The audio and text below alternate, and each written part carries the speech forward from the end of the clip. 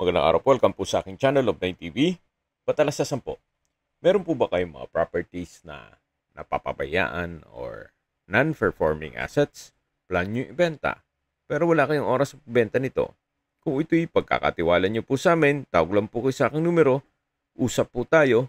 Gawan ko po ng video for free. Yes, libre po. Wala po kayong babayaran. Tutulungan pa namin kayong mabenta ang inyong property.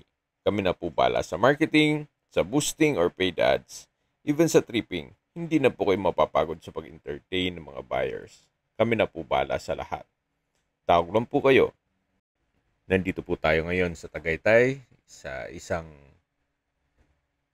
guarded subdivision kung saan meron po tayong bagong video presentation. Isang residential property. May lot area po ito na 300 square meters at ito po ay corner lot. Ito pong bahay ay may floor area na 150 square meters more or less. Meron po itong 4 bedrooms, 4 car garage, malaki po ang espasyo ng living area, dining area at kitchen. May maid's room. Dito po sa ground floor ay meron pong isang kwarto na kung sakali man na meron po kayong PWD or senior citizen sa pamilya, ay meron na pong kwarto para sa kanya. At dito naman po sa taas ay meron pong 3 bedrooms at napakalaki pa po ng spasyo or there's a lot of rooms for improvement. Kumbaga, kung malaking pamilya kayo, yung area po nitong covered carport ay pwede pong gawan ng family area, then sa dulo ay gawan din ng kwarto. Actually, dito sa harapan at dun sa corner side hanggang dun sa dulo ay malaki din po ang espasyo. Ito pong balkonahe ay paikot po yan sa buong second floor at may security grill at lahat ng kwarto sa second floor ay may access din po dyan sa balkonahe. So, yan po yung concrete fence at steel gate. 80% ng flooring ay konkreto na po. Kaya meron din pong spasyo kung sakaling mahilig kayo magtanim. At syempre, less maintenance na rin sa pagpapadamo. Ito po yung driveway. Ito pong covered carport ay kakasya dalawang sasakyan o tatlo hanggang dito sa dulo kung SUV. Mahaba po yan hanggang dun sa dulo. At yung may bintana naman, ayan yung maid's room. Ito pong structure ng bahay ay wala namang mga crack, maayos naman. So, depende na lang sa inyo kung papabago nyo itong pintura once na makuha nyo ito. Ito pong access door na papunta sa dirty kitchen ay may security grill. Yan po ulit yung driveway at sa dulo yung steel gate. Ito po yung tinutukoy ko na dito sa harapan ng bahay pwedeng gawing garahe. Nakakasya pa ang tatlong sedan. Ito pong harapan ay naka-tiled wall kaya less maintenance rin sa pintura. Maisingit ko lang po tungkol po sa dokumento nito. Ito po'y titulado, updated po ang amilyar, buhay po ang may-ari, kaya wala po kayong maging problema sa documentation o sa transfer ng title. Dito po sa gilid ay meron pong spasyo para kung sakali man na gusto nyo magtanim o ipa-landscape niyo para maganda ang kapaligiran. So yan po yung corner side nitong bahay. Tungkol naman po sa presyo at sa distance, location at travel time, sa dulong parte po ng video natin pag-uusapan ito. So sa ngayon, check po muna natin itong loob ng bahay ni Madam. Ito po yung main door na naka-double aluminum screen door at solid wood door. Samahan niyo po ako. Pasok po tayo. May wooden carved design din po itong solid wood door. Welcome po dito sa bahay ni Madam. Yan po yung dining at sa dulo yung kitchen. At dito naman po sa kabilang side ay yung living area.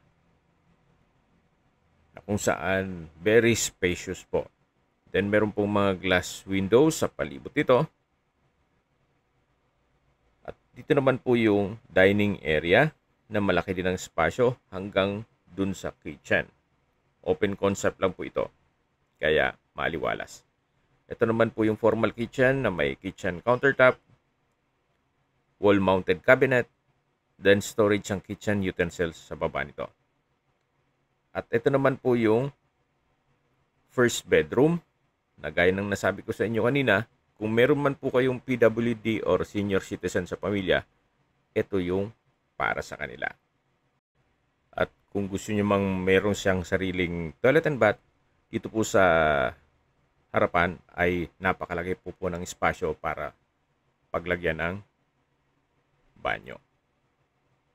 So yan po yung opinion ko lang naman. Depende pa rin yan sa inyo once na ma-acquire nyo ito. So labas po ulit tayo. Yan po ulit yung main door. Sa dulo yung living area. Ito po yung napwestuhan natin ay yung dining area. At yan po ulit yung formal kitchen. Meron din pong kitchen window at sa likod po niyan ay yung garahe. Ito naman po yung access door papunta dito sa dirty kitchen. Malaki din po ang espasyo nito. May kitchen countertop, wall-mounted cabinet, at storage ng kitchen utensils. Naka-tile flooring na rin po dito. At ito naman po yung access door na papunta naman sa garahe na kung saan galing na po tayo dito kanina at sa dulo yung main gate. Ito naman po yung maid's quarter o maid's room na malaki din po ang espasyo nito. At para meron din pong sariling toilet and bath, dito po sa may garahe ay pwede maglagay ng banyo.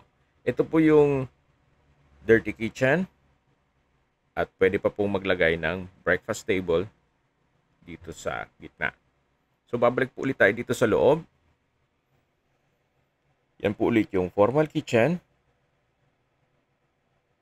na meron pong mga wall-mounted cabinet at kitchen cabinet. Yan po ulit yung dining area, yung main door, living area o salas na napakalaki po ng espasyo. Then, matatanong natin yung hagdan. At dito po sa ilalim ng hagdan ay meron pong common toilet and bath. May stainless handrail at railing. Then may ilang steps na hagdan bago pumasok dito. Ito po yung naka-solid wood door. Then naka-tile bathroom wall. May bathroom window at maayos naman ang toilet fixtures nito. Sa dulo po ay meron pong shower. So yan po yung common toilet and bath.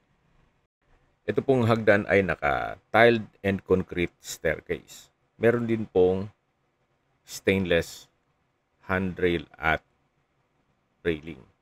Samahan niyo po ako. Akyat po tayo. Meron din pong staircase window.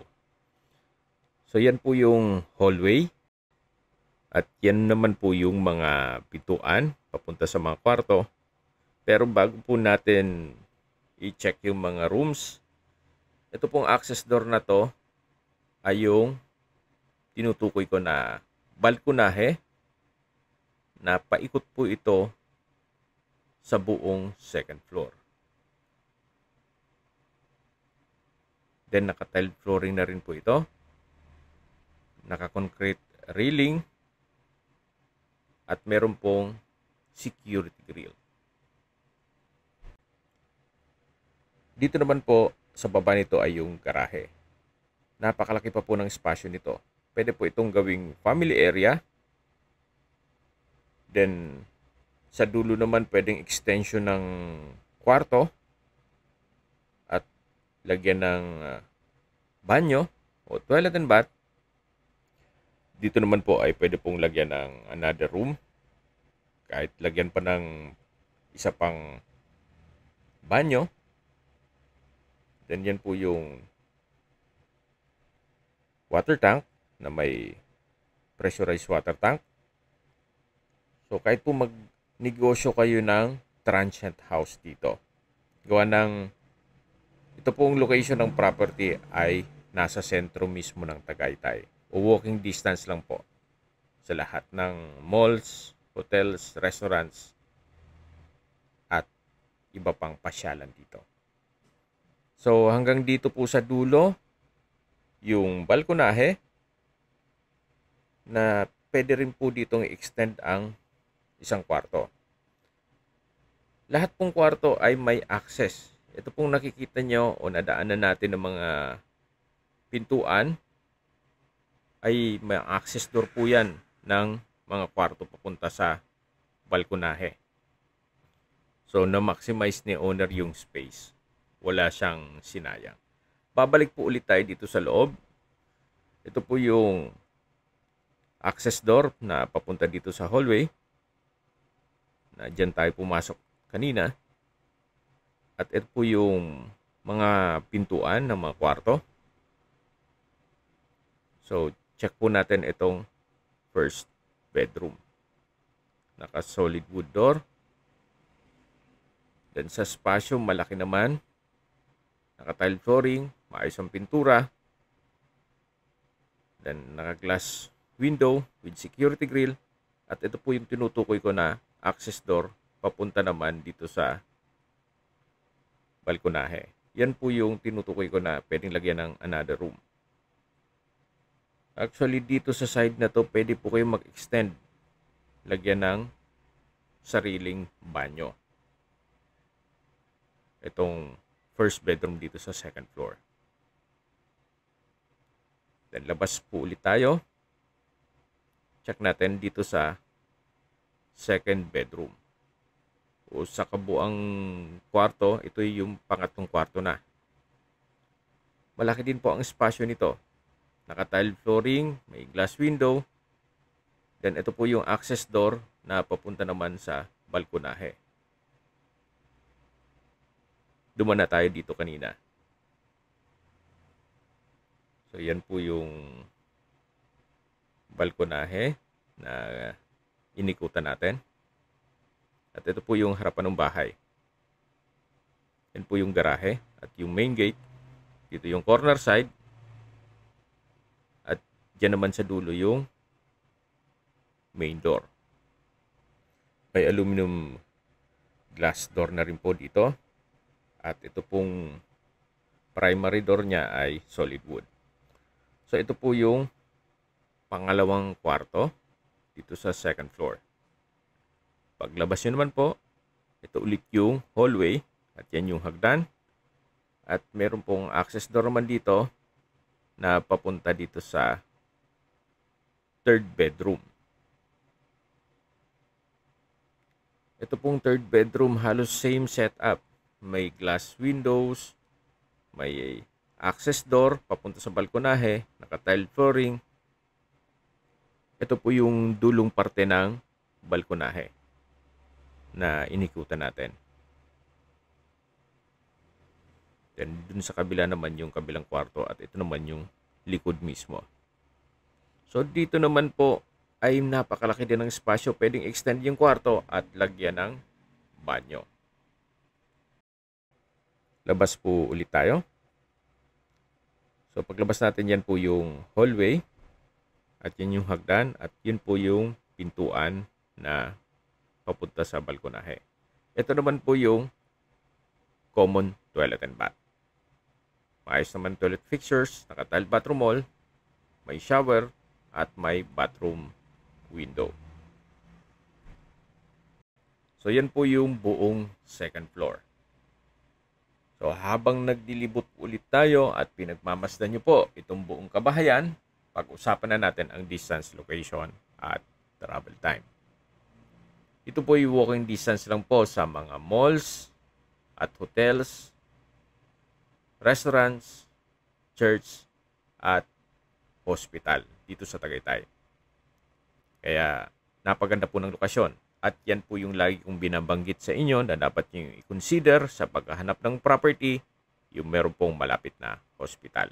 Hindi ko noon po sinasabing sakitin kayo, yan naman po for emergency purpose lang naman. At mula naman po sa Mahogany Market, ang distance is 3.7 kilometers at ang travel time is 5 minutes. Mula naman po sa Picnic Grove, ang distance is 8.7 kilometers at ang travel time is 17 minutes. Kung manggagaling naman po sa Calax, silang interchange, ang distance is 20.8 kilometers at ang travel time is 39 minutes. Ang Calax po ay connecting South Luzon Expressway, Skyway, all the way to North Luzon Expressway at ibang parte ng Metro Manila. Kaya mapapabilis na po ang biyahe mula Manila papuntang Tagaytay. At kung manggagaling naman po sa Manila o sa airport, ang distance is 61.6 kilometers at ang travel time is 1 hour and 30 minutes. Okay, recap lang po. Ito pong property ay nasa Tagaytay, sa sentro mismo ng Tagaytay. Walking distance po sa lahat ng business establishments at malls. May lot area po ito na 300 square meters more or less at ito po ay corner lot. May 4 bedrooms, 2 toilet and bath, maid's room, spacious living area, dining area at kitchen. At nasa loob po ng isang guarded subdivision. Napakatahimik po ng lugar, sariwang hangin at malamig po ang klima. Okay, sa presyo na po tayo. Binebenta po ito ni owner sa halagang 13.8 million pesos. Para po sa akin, kung hindi naman ganun ka laki ang budget para sa malaking property o ang requirements niyo especially pag malaking pamilya kayo ay malaking bahay at malaking espasyo, pwede na po ito. Compare nyo naman kung bibili kayo ng mga bagong tayong bahay dito sa Tagaytay na napakaliit ng mga lote, pati mga kwarto nito ang liit. So, para sa akin, pwede na po ito. Yan naman po yung opinion ko lang naman. Depende pa rin yan sa inyo kung anong assessment nyo dito sa property. Although, may mga gagawin given na. Well, it's an old house pero well-maintained naman. Especially yung honest review ko dito, ang kulang na lang ay mga banyo. So, gagastos ka syempre, pero pwede naman tayo makipag-negotiate kay owner. Pero tungkol sa structure nito, halata pong hindi naman tinipid. Kaya tatagal pa naman po ito. Compare mo dun sa mga bagong construct na mga uh, pinakontrata lang na we all knew naman, syempre, tinitipid yan minsan para kumita sila. So, yan po. Pinakita ko na sa inyo lahat. Depende yan sa inyo, sa assessment nyo, kung sa tingin nyo pasok na ito sa inyong requirements, especially kung limitado lang ang budget natin. At ang target nyo pa sa mismong sentro ng Tagaytay. Kung may mga katanungan po kayo, tawag lang po kayo sa aking numero. At sa mga kababayan naman natin na sa ibang bansa, meron pa akong Telegram, sa mga iPhone user man may iMessage, meron din pong imo, Skype, Viber at WhatsApp. Same number lang po, 0917-316-3399. Sa mga nagtatang naman po ng aming Facebook, meron po kaming Facebook page na Nov9 TV at Facebook Reels Video. Meron din pong TikTok at Instagram. May ibang YouTube channel po kami na The Nov9 TV channel at Nov9 TV listings. Sana po naibigan nyo ang video presentation. Paki-like and subscribe na lang po sa aking channel para ma-update din po kayo sa aking future listings. Kung sakali po hanap nyo yung mas malaking sukat na lupa, meron din po kaming ibang listings na pwede nyong pagpilian. Huwag po kayong mag-atubiling tumawag sa amin, then let us know your budget para malaman namin kung anong property pwede naming ilok sa inyo. Sa lahat pong viewers, subscriber at nagtiwala po sa amin, salamat po sa suporta. Ingat po kayo lagi at yung pamilya. Maraming maraming salamat po.